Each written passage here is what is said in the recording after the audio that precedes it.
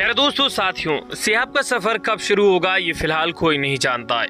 लेकिन अगर बात की जाए तो सियाब चतुर को बहुत तगड़ा नुकसान है, जो कि लोग मजाकों में ले रहे हैं। लेकिन इस चीज़ का कोई भी अंदाज़ा नहीं लगा रहा कि आखिरकार सियाब चतुर का सफ़र कब शुरू होगा और शेब चतुर को कितना बड़ा नुकसान है। लोगों, ज़ाहिर सी बात है, आप लोग जानते हैं कि एक दिन में 20 से 25 और 30 किलोमीटर का सफ़र किया जा रहा था। यानी कि अगर बात की जाए और कैलकुलेट किया जाए तो महीने में 900 किलोमीटर का सफ़र तय किया जा रहा था। तकरीबन सिया भाई ने चार महीने में 3600 किलोमीटर का सफ़र तय कर लिया था। और आप लोग जानते थे कि साढ़े आठ हज़ार किलोमीटर का ये सफ़र था। अगर 3600 किलोमीटर को कैलकुलेट किया जाता तो दोस्तों, हमने आपको बताया था कि तकरीबन आठ से नौ महीने के अंदर अंदर सियाब भाई मदीना शरीफ पहुँच जाते लेकिन नुकसान की अगर बात की जाए, सबसे बड़ा नुकसान ये देखने को मिला है कि आज तकरीबन एक महीना हो चुका। और शिहाब भाई का ये सफ़र रुका हुआ है। तो आप अंदाज़ा लगाएँ कि एक शख्स है तो भला वो पैदल कितना चल सकता है।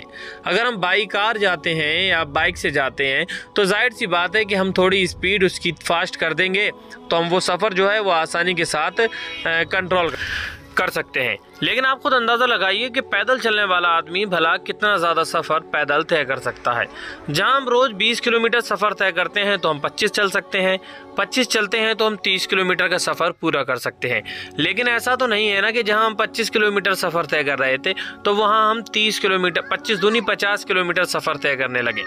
ज़ाहिर सी बात है कि अगर सफ़र को रुके हुए एक महीना हो गया तो तीन तियानों तकरीबन एक हज़ार किलोमीटर का सफ़र शहाब भाई का रुक गया। एक हज़ार किलोमीटर सफ़र अपने आप में मायने रखता है। और ज़ाहिर सी बात है कि एक हज़ार किलोमीटर का सफ़र एक महीने में तय किया जाता है। और अगर इसी तरह से ये सफ़र तय किया जाएगा तो आने वाले 2023 में हज के सफ़र पर सयाब भाई नहीं पहुँच पाएँगे। यानी कि सयाब भाई को और ज़्यादा परेशानियों का सामना करना पड़ेगा। जैसे कि मैंने अभी आपको बताया कि अगर हम कार से या बाइक से जाते हैं तो थोड़ा स्पीड बढ़ा लेंगे और हम आसानी के साथ पहुँच जाएँगे। लेकिन यहाँ पर मामला ये है कि मामला पैदल चलना है। ज़ाहिर सी बात है, आपने देखा है कि शुरू से अब तक सयाब चतुर का ये सफ़र पैदल ही था और वो शुरू से अब तक पैदल ही अपना ये सफ़र तय करते हुए नज़र आ रहे थे। लेकिन अब सबसे बड़ा मामला ये है कि आखिरकार क्या ऐसी वजह है जो इतनी ज़्यादा देरी हो रही है? आखिरकार अगर किसी तरह के डॉक्यूमेंट्स में कोई प्रॉब्लम है तो उसका हल जल्द से जल्द निकालना चाहिए। गवर्नमेंट को भी हमारी ये देखना चाहिए कि एक बंदा जब पैदल जा रहा है, पैदल सफ़र कर रहा है तो उसके लिए एक एक दिन बहुत ज़्यादा कीमती है। वो बात अलग है कि एक, दो, तीन, चार, पाँच दिन या हफ़्ता भर लग जाता, लेकिन यहाँ पर तो महीना भर पूरा कंप्लीट होने वाला है। इस तरह से जो शख्स महीना भर अगर एक जगह रुक जाएगा तो आप लोग खुद जानते हैं कि जब वो महीने के बाद सफ़र शुरू करेगा तो वो ताकत और वो कैपेसिटी उस शख्स के अंदर नहीं रहेगी। स्टेमिना की बात अगर की जाए तो हम अगर किसी वर्क को कंटिन्यू करते हैं तो उसमें हल्के हल्के जो है, उसमें हमारी स्पीड बढ़ जाती है, उसमें वो हमारी हैबिट में आ जाता है। लेकिन अगर एक बंदा सफ़र एक महीने रोक देता है तो आप खुद जानते हैं कि वो सफ़र कैसे तय करेगा। तो ज़ाहिर सी बात है, ऐसे में दुश्वारियों और परेशानियों का सामना करना ही पड़ेगा। तो ऐसे में शयाब चौधर को काफ़ी ज़्यादा लंबा नुकसान होने वाला है। अगर ये सफ़र जल्दी तय नहीं किया गया तो आगे चल के इसमें और ज़्यादा परेशानियाँ आएँगी, क्योंकि कोई काम जब हैबिट में है तो हम उसको आसानी के साथ कर लेते हैं।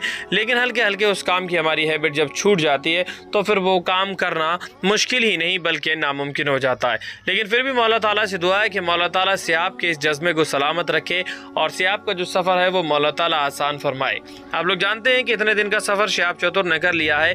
ऐसे में अगर ये सफ़र बीच में ही छोड़ दिया जाएगा तो वाकई में ये बहुत ज़्यादा अफसोस की बात है। और दूसरी तरफ़ ये किसी के हौसलों को पस्त करना भी होता है। हम कंटिन्यू मेहनत करते हैं, उसके बावजूद हमें कामयाबी नहीं मिलती।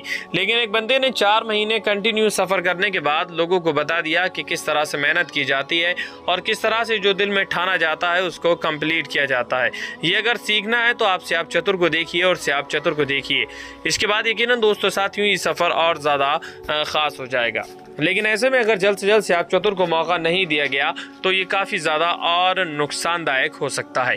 आप तमामी लोग शयाब के लिए दुआ कीजिए कि हमारी ये खबर जो है, हमारी गवर्नमेंट तक पहुँचे और शिहाब को जल्द से जल्द सफ़र शुरू करने का मौका दिया जाना चाहिए। दोस्तों, इस बात को सीरियस आप लोग जो है नॉर्मल ना लें, सीरियस में लें और इस बात को आगे तक पहुँचाने की कोशिश करें कि शिहाब चतुर के सफ़र को जल्द से जल्द शुरू किया जाए। वरना आप लोग खुद जानते हैं कि शिहाब को बहुत तगड़ा नुकसान होने वाला है, क्योंकि एक महीने से सफ़र रुक गया, तकरीबन एक हज़ार किलोमीटर से ज़्यादा सफ़र का लॉस हो गया। बताया जा रहा है कि साढ़े तीन हज़ार शिहाब चतुर ने सफ़र तय कर लिया है तो तकरीबन अब तक साढ़े चार हज़ार किलोमीटर का सफ़र तय कर लिया गया होता, जबकि सारा सफ़र साढ़े आठ हज़ार किलोमीटर का है। यानी कि सफ़र जो है अब तक फिफ्टी फिफ्टी हो चुका होता और श्याम चतुर पाकिस्तान में भी काफ़ी ज़्यादा आगे पहुँच गए होते, यानी कि काफ़ी ज़्यादा आगे निकल गए होते। तो आप लोग हमारी इस वीडियो में कमेंट ज़रूर करें, हमें आपके कमेंट का इंतज़ार है।